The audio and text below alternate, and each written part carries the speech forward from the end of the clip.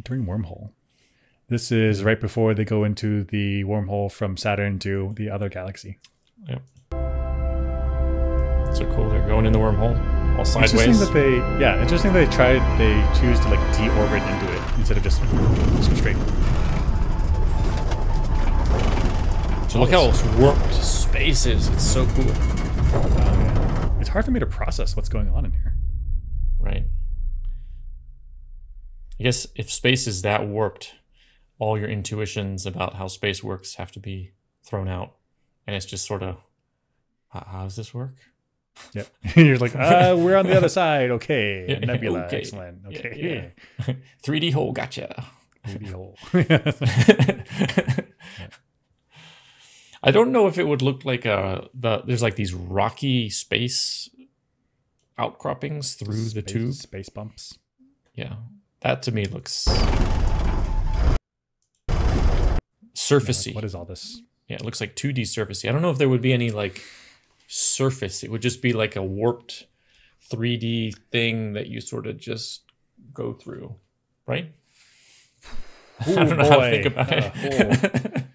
Gosh. So like in the most simplest vision I can, it's like two sheets of paper with like a like a straw in the middle, right? And you Mhm. travel through the straw. But I have no intuition- I have, no idea how what to, what guess to put on yeah, this. and if you're if you're in that going on the piece of paper in onto the straw Mhm. and then out the other side, you have to stay within the 2D plane. So you got the analogous 3D 3D straw, and you're staying with you can only view it inside the 3D straw. So you're getting all this warping going on. You have to we'd have to take some intense study, I think, to get to the That's point right. where we understand it. That's right. Off the cuff, not easy. Not easy. But I don't think it, these would it be these- smooth or would it be textured like this? I don't. I, the texture I don't think is right. But all this warping like down the tube, where like galaxies are all. I think that Warpy, warpy, weird shapes up here. yeah. I'm down with that. Whether they're the right warpy weird shapes. In fact, no I guess idea. I guess But- why would there be texture here at all? Texture suggests that there's actual mass there, but Right. the wormhole itself does not need to have any mass associated with it. Right. It's just warped It's just space. a pathway through space. Yeah. Right.